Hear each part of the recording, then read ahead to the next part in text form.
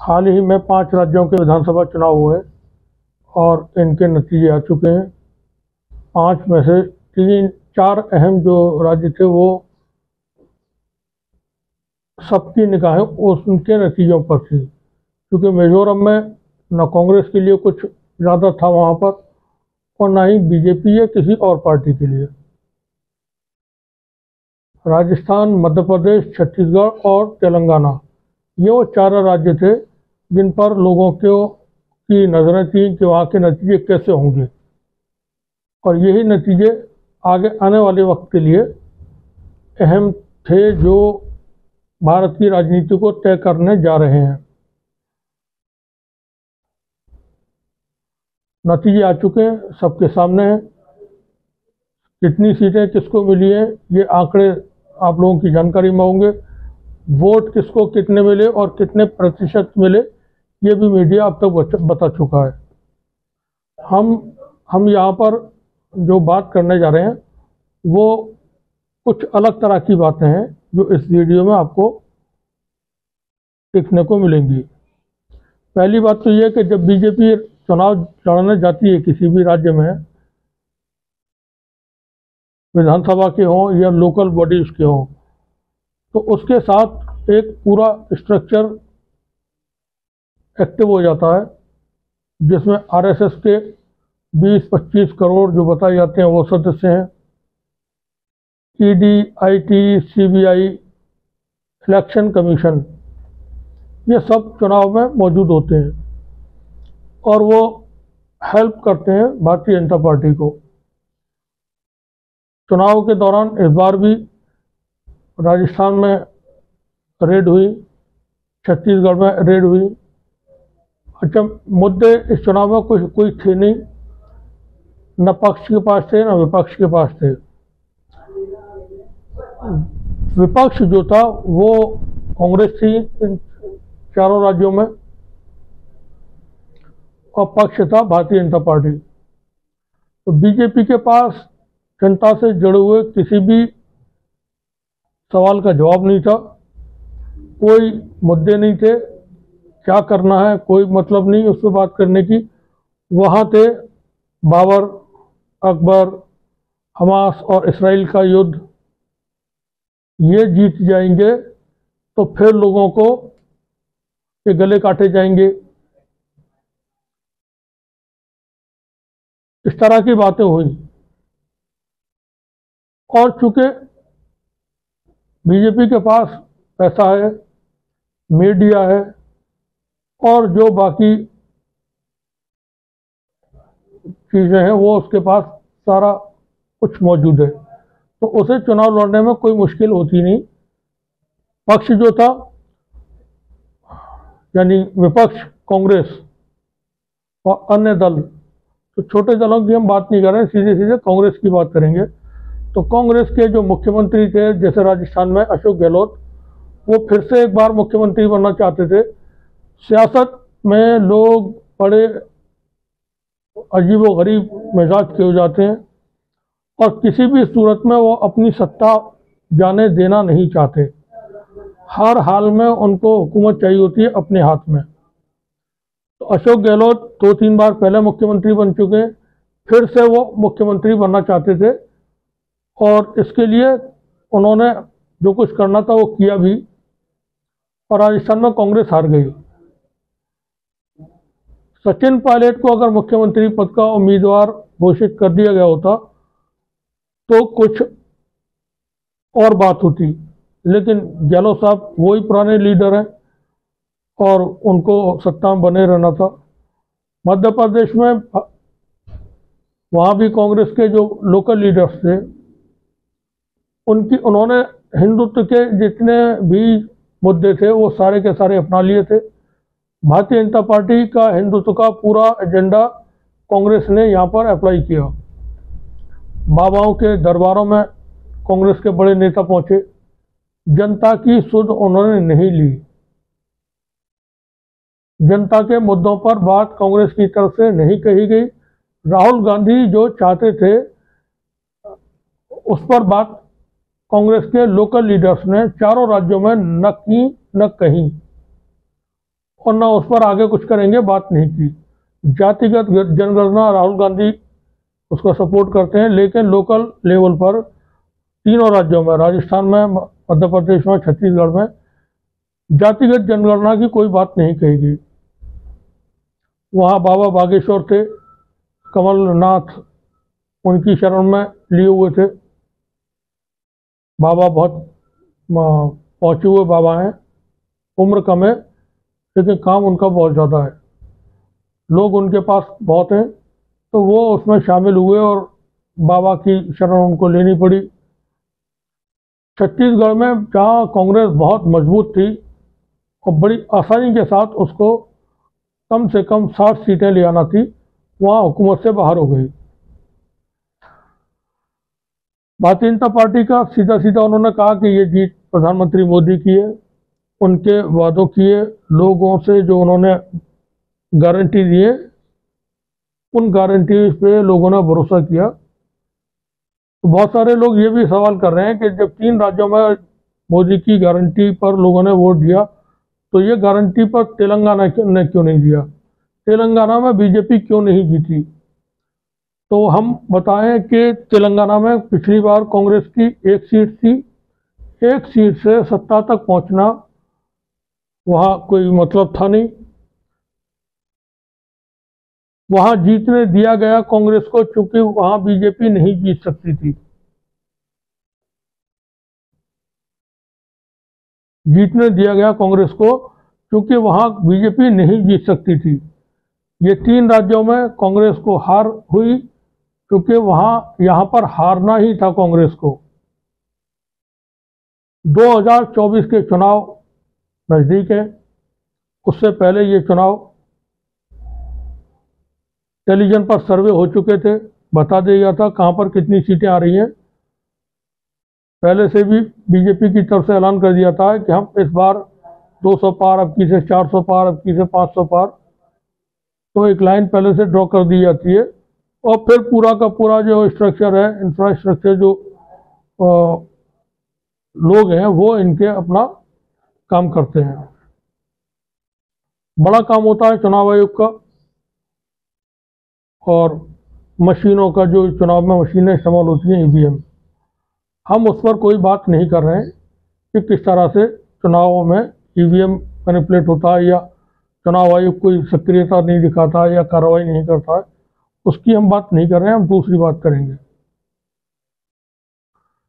तेलंगाना में कांग्रेस को जीतने दिया गया क्योंकि बीजेपी नहीं जीत सकती थी।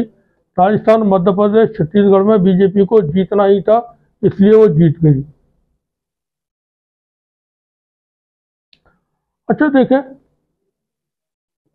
अब ये जब नतीजे आए तो कहा जाता है कि शिकस्त इंसान को यतीम बना देती है। राहुल गांधी के ऊपर फ़ौरन राशन पानी लेकर के बहुत सारे जो नेता हैं लोग हैं, वो सवार हो गए और उनका कि राहुल गांधी, ऐसे राहुल गांधी, वैसे राहुल गांधी का नहीं चला और लोगों ने मोदी को जिता दिया। तो ऐसा कुछ है नहीं। हारने के बाद इंसान के अंदर बहुत सारी कमियाँ ढूंढी जाती है और हारने वाले को एक समझा जाता है कि ये बस ऐसे ही उसका कोई भरोसा नहीं है, या वो जीत नहीं सकता, या वो बहुत कमज़ोर है। राहुल गांधी के हारने से या विपक्ष की अन्य पार्टियों के हारने से चीज़ें नहीं बदलेंगी।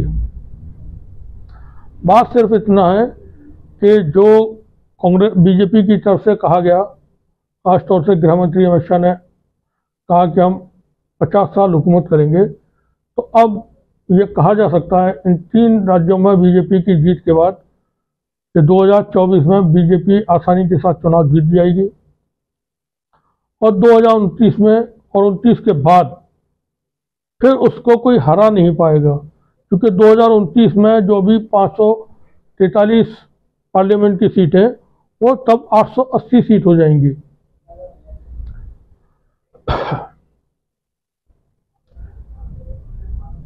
नए परसीमन होंगे। सीटें बढ़ाई जाएँगी राज्यों में, हर ज़िले में सीटें बढ़ेंगी।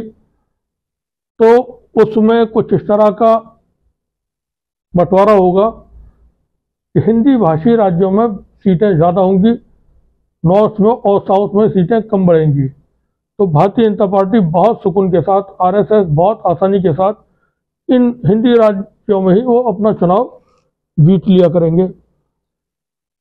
कुल मिलाकर के 2023 में हुए ये चुनाव। आगे की राजनीति के बारे में कुछ इस तरह का बयान करते हैं कि अब विपक्ष के लिए स्पेस खत्म हो चुकी है। अब बीजेपी को जीतने से कोई किसी भी चुनाव में नहीं रोक पाएगा। और जो कुछ उन्हें करना है, फिर वो तो ज़ाहिर सी बातें होता रहेगा। देश के अंदर बहुत सारी चीज़ें होती रही और लोग खामोश रहे, तमाशा देखते रहे, उस पर नहीं बोले। भारत में उन्नीस में भारत को अंग्रेज़ों से आज़ादी मिली। 1950 में संविधान लागू हुआ। लेकिन बहुत छोटी सी एक बात यहाँ आपके जहन में लाना, आपके सामने लाना चाहते हैं। हिंदी फ़िल्मों को आपने देखा होगा। किस हिंदी फ़िल्म में भी अदालत का कोई सीन होता था और वहाँ किसी से जब गवाही वगैरह होती थी तो उसके सामने गीता कुरान बाइबल इस तरह की कोई होली बुक ला करके कहा जाता था कि हाथ धर के कसम खाइए। फिर वो व्यक्ति जो गवाह दे, गवाही देने के लिए कोर्ट में आया हुआ होता था वो हाथ रख के खाता था कि मैं गीता की शपथ लेकर कहता हूँ कि जो कुछ कहूँगा सच कहूँगा। अब गीता कुरान और बाइबल क्यों वहाँ अदालत में इस्तेमाल किए जाते थे? आपको शपथ संविधान की क्यों नहीं जलाते थे? क्योंकि एक काम अलग से भी चल रहा था, देश को दूसरी दिशा में ले जाने वाला। और वो फ़िल्मों के ज़रिए किया गया। अभी एक फ़िल्म फ़िल्म आई हुई है इस वक्त, एनिमल। चुनाव के बीच में हम इधर उधर की बात नहीं करेंगे आज नजरियों के बीच में, क्योंकि हम कोई रिपोर्ट पेश नहीं कर रहे हैं। सिर्फ़ बातचीत कर रहे हैं। एक फ़िल्म आई हुई है एनिमल एनिमल फ़िल्म में कोई स्टोरी नहीं है। किसी भी एक्टर के लिए, काम करने के लिए कोई कहानी नहीं उसमें। और फ़िल्म ब्लॉकबस्टर हो जाती है। 124 26 करोड़ रुपए पहले दिन कमाती है 114 करोड़ दूसरे दिन। चार दिन के अंदर 215 करोड़ से ज़्यादा की कमाई एनिमल ने कर ली है। अब इस फ़िल्म में जो खून खराबा दिखाया गया आप देखेंगे फ़िल्म। तो बड़ी खौफनाक फ़िल्म है और बेमतलब की, फालतू की फ़िल्म है, बोगस। बंडल जिसको कहना चाहिए। लेकिन पब्लिक ने देख ली क्योंकि उसकी पब्लिसिटी बहुत हो गई थी। उस पब्लिसिटी से आकर्षण बढ़ा लोगों का और वो सिनेमा घर में फ़िल्म देखने पहुँच गए। तो जो चाहिए था वो तीन चार दिन के अंदर ही फ़िल्म ने और अगले आने वाले वक्त में अपना जो भी उसकी कमाई है वो और ज़्यादा कर लेंगे। फ़िल्म को ब्लॉकबस्टर का टाइटल मिल चुका है। फ़िल्म की कहानी के बारे में हम कह रहे थे, इसमें कुछ भी नहीं है पूरी फ़िल्म में। और फ़िल्म हिट हो जाती है सुपर हिट हो जाती है ब्लॉकबस्टर हो जाती है। इस फ़िल्म की कहानी में भी एक पूरा का पूरा प्लॉट तैयार किया गया। और जो खलनायक है, वो मुसलमान अबरार, बॉबी देवल उसको बना दिया गया। भारत के सबसे अमीर बिजनेसमैन के को लेकर के ये कहानी बनाई जाती है। रणवीर कपूर का बाप अनिल कपूर, वो बड़ा बिजनेसमैन है भारत का, सबसे बड़ा। और उसी कारोबारी लड़ाई में ये तमाम चीज़ें आगे बढ़ती हैं। वॉयलेंस है फ़िल्म में सिर्फ़। भड़काऊ चीज़ें हैं। ये लोगों को मेंटल सिक कर देती हैं इस तरह की चीज़ें। फ़िल्म में इस तरह के सीन है जैसे आईएसआईएस के लोग गर्दन काटते थे। फ़िल्म सोसाइटी का को रिफ्लेक्ट करती है। ये कहा जाता है। तो हम ये देखें कि हमारी सोसाइटी कहाँ तक पहुँच चुकी है। उसका रिफ्लेक्शन अगर एनिमल है तो। अब भारतीय जनता पार्टी जीती आती है तो उसके पास सांप्रदायिक मुद्दा था। विकास की बात नहीं थी, नौकरियों की बात नहीं थी, बेरोजगारी की बात नहीं थी। पाँच किलो राशन फ्री में मिलेगा, ये बात थी। भारतीय जनता पार्टी आरएसएस का अपना एक दुश्मन है, और वो दुश्मन है भारत का माइनॉरिटी माइनॉरिटी में भारत का मुसलमान।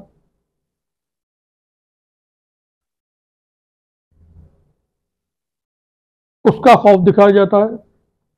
बाबर चुनाव का मुद्दा था। हमास और इसराइल के बीच जंग चल रही है फलस्तीन में। वो भारत के चुनाव में मुद्दा था। तालिबान का इलाज हनुमान जी की गदा है और हमास का इलाज इसराइल चुन चुन करके उन्हें मारकर कर रहा है। ऐसे बयान दिए जा रहे थे। कहा जा रहा था कि अगर ये सत्ता में वापस आ गई, ये मतलब कांग्रेस। तो फिर लोगों के गले काटे जाएँगे, जैसा एनिमल में काटा जा रहा है। तो भारत में एनिमल की जो आइडेंटिटी है, वो मुसलमानों के साथ चस्पा कर दी जा चुकी है। ये एनिमल है। और एनिमल के तो फिर गली काटे जाएँगे, उनको ज़िंदा रहने से कोई फ़ायदा नहीं। मीडिया ने इसमें बहुत अहम रोल अदा किया है। और चूँकि मीडिया के पास सभी बात करते हैं तो वो बात करना भी अब फजूल की सी बात है। कि हम बार बार ये कहते रहे कि भारत का मीडिया जो है, वो एक तरफा और एक संगठन के साथ मिलकर के षड्यंत्र करके देश के माइनॉरिटी सेक्शन के एक एक माइनॉरिटी सेक्शन के खिलाफ काम करने में लगा हुआ है। उसका कोई एनिमी नहीं है। एक ही दुश्मन है और वो मुसलमान है भारत का। होगा क्या? अब, क्योंकि 2024 के चुनाव का कार्यक्रम अप्रैल से शुरू हो जाएगा, मई तक ये सब चीज़ें, गिनती वगैरह सब होकर के ख़त्म हो जाएँगी और मई के लास्ट तक भारत के नए प्रधानमंत्री को शपथ लेनी होगी। तो कुल मिलाकर के अगर हम देखें तो अगले तीन महीने, साढ़े तीन महीने कुल मिलाकर के बाकी हैं। पार्लियामेंट के चुनाव शुरू होने में, अधिसूचना जारी होने में। इन तीन चार महीने में कोई करिश्मा ऐसा नहीं होने जा रहा है जो विपक्ष आरएसएस का मुकाबला कर सके। बहुत आसानी के साथ 2024 में लोग समझा रहे हैं, बता रहे हैं वो हिम्मत बढ़ाने के लिए, हौसला बढ़ाए रखने के लिए ऐसी बातें करना भी ज़रूरी होता है। तो हिम्मत तो लोग इंसान को नहीं हारना चाहिए, लेकिन सच को भी झुटलाना नहीं चाहिए। भारत के मुसलमान जो उन्नीस सौ सैंतालीस में बंटवारा हुआ और उसके बाद जो भारत में रुके तो उनको बड़ी उम्मीद थी कि जिस तरह से बड़े नेताओं ने कहा है कि सब मिलकर के रहेंगे भाई भाई की तरह रहेंगे तो उसी तरह से सब लोग मिलकर के रह, रहते चले आए। उनको ये नहीं माल अंदाज़ा था कि भारत के मुसलमानों के साथ आगे चल के क्या होगा? मुस्तकिल काम होता रहा अब बड़े लेवल पर ये बातें होती हैं। कोई भी अगर मुसलमान के बारे में बात करता है, कोई मुद्दा उठाता है तो कहा जाता है, तुष्टीकरण की राजनीति की जा रही है। और ये बड़े लेवल पर बात की जाती है, तुष्टीकरण। उसकी राजनीति की जा रही है। और ये मुसलमानों के हमदर्द हैं। कोई भी दल हो, विपक्ष में जैसे ही मुसलमानों के पक्ष की कोई बात कर देता है, हक बात करने की कोशिश करता है तो उसको मुसलमानों का हमदर्द बता करके, अब डर की वजह से वो विपक्षी दल भी मुसलमानों के बारे में न कुछ कहते हैं, ना कुछ करते हैं, क्योंकि उनको डर है कि हमारा वोट जो है वो खराब हो जाएगा और हमसे दूर हो जाएगा।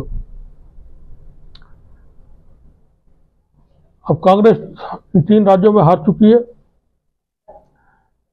तलाश करेंगे, कांग्रेस के लोग भी हम क्यों हारे? एक्सपर्ट्स भी बताएँगे मीडिया में कि कांग्रेस की हार की वजह क्या रही। हम इस पर आज बात ही नहीं कर रहे हैं, क्या वजह रही। क्योंकि अब वजहें तो सभी को पता है और वो उस पर बातें करते रहना बेवजह है। आरएसएस ने सौ साल तक मेहनत करके अपनी जड़ें बहुत मज़बूत की उसने कंट्रोल किया एक एक जो देश के अंदर संवैधानिक संस्थाएँ उन पर। अब उनका कंप्लीट कंट्रोल हो चुका है। इंसाफ की बात करें तो कल 6 दिसंबर है, आज 5 दिसंबर है।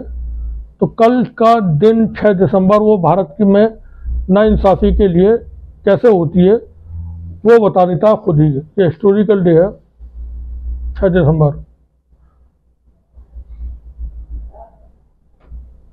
किसी को सजा नहीं हुई, सब बच गए। और बाकी चीज़ें वो सब ख़त्म कर दी गई। जब किसी समाज में, किसी मुल्क में कानून का राज नहीं रहता है तो एनिमल जैसी फ़िल्में बनती हैं। एनिमल जैसा वातावरण तैयार हो जाता है।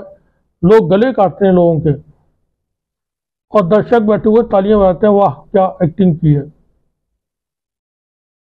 This is the reflection of our society जो दर्शक तालियाँ बजा रहा है, गला काटने पर। सांप्रदायिकता की राजनीति की ये एग्जाम्पल्स हैं।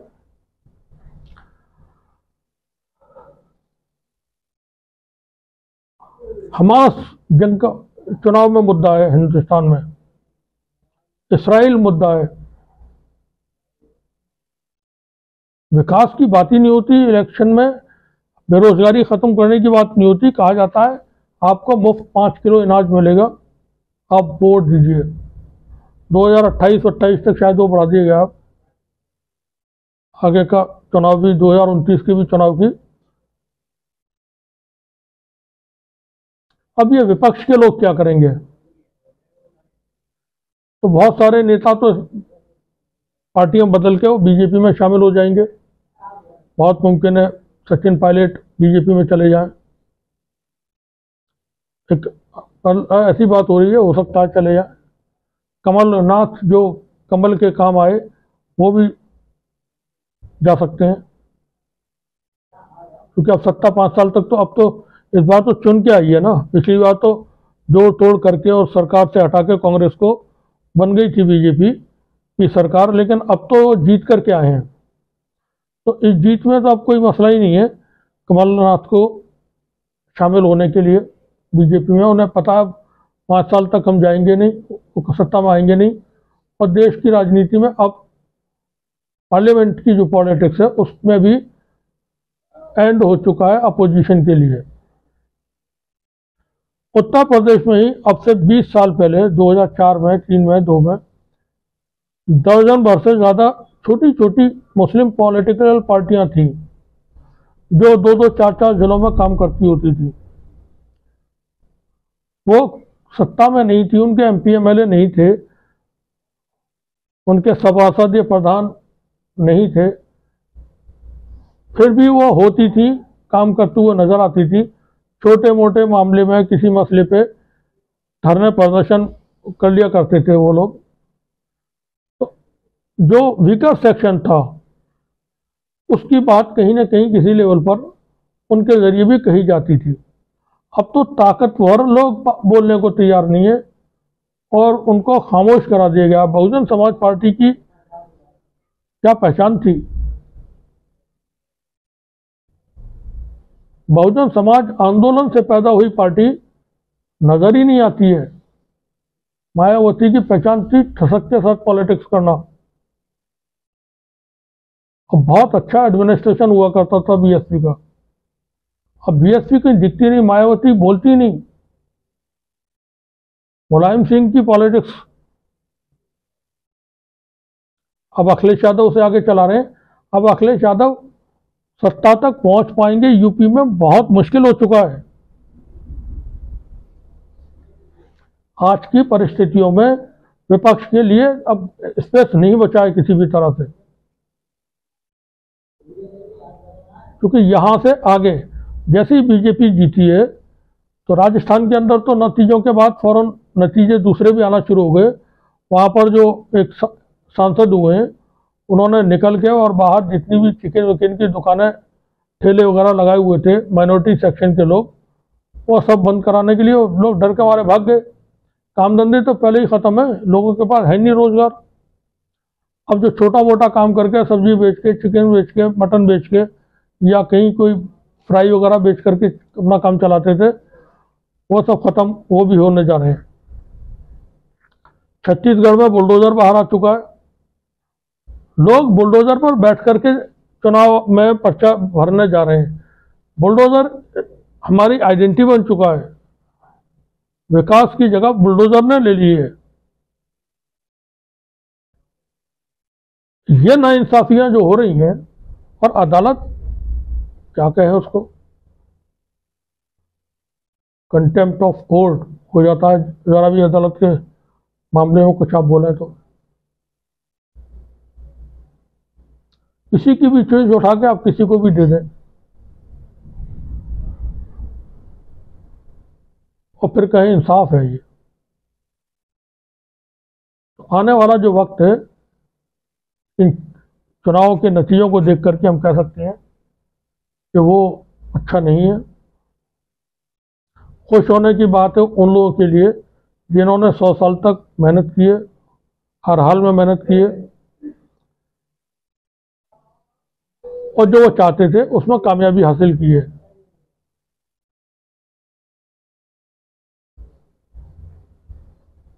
हिंदू राष्ट्र बनाने की बात थी तो हिंदू राष्ट्र की तरह तो भारत बिहेव कर रहा है दशकों से। भारत का जो सिस्टम है, वो काम कर रहा है हिंदू राष्ट्र की तरह। लोग डरते हैं मुसलमान की बात करने से।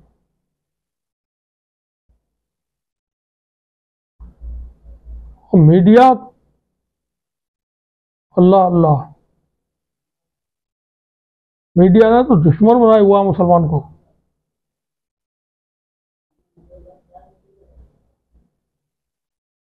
अब ये नतीजे तो आ गए। अब नतीजे जो आएँगे वैसे वाले, उन्हें भुगतने के लिए तैयार हैं। आप सभी का बहुत बहुत शुक्रिया।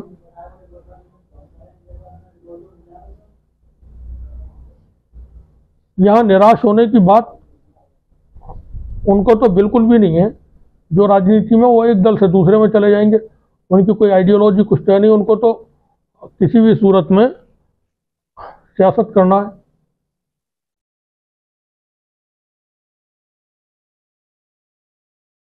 जैसे कांग्रेस की सरकार चलेगी राजस्थान में तो पहले जिस वक्त मैडम सिंधिया की हुकूमत थी, उस वक्त राजस्थान जाना हुआ, तब भी देखा कि मुसलमानों के बड़े ताकतवर लोग, जिससे ही मुलाकात हुई, वो कौन है साहब ये आरएसएस के बड़े करीबी हैं।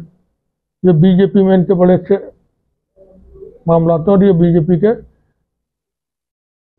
फरा प्रकोष्ठ के ये नेता हैं। रास्ते तलाश कर लें आप भी सब।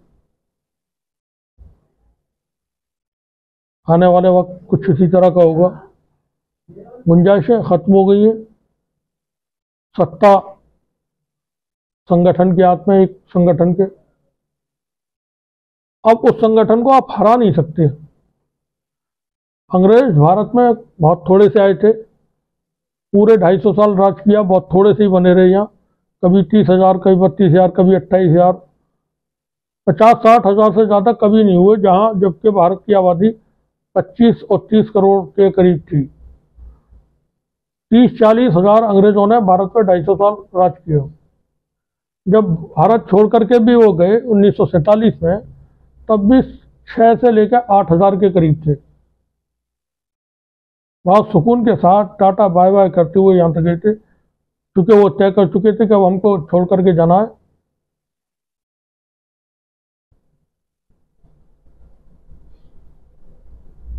और उसके बाद से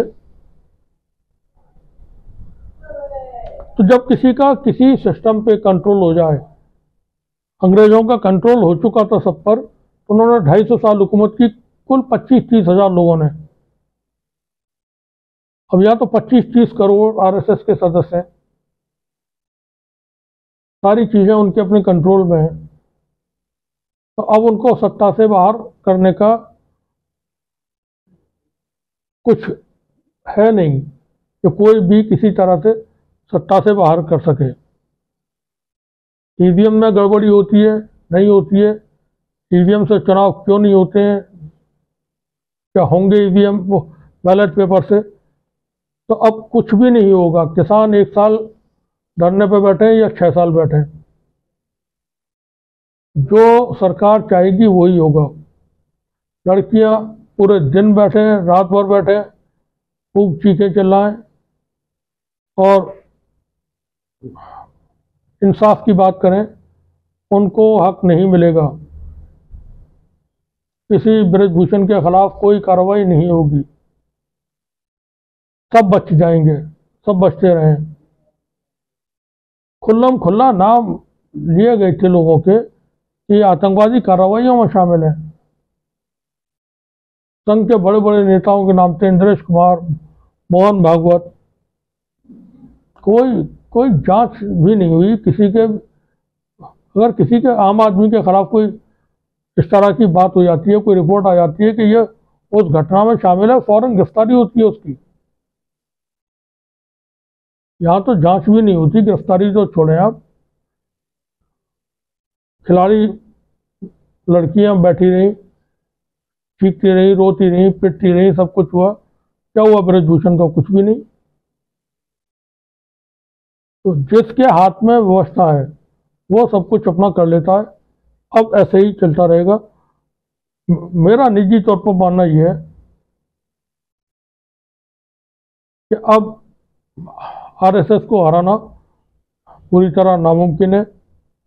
और अगले कई सदी तक,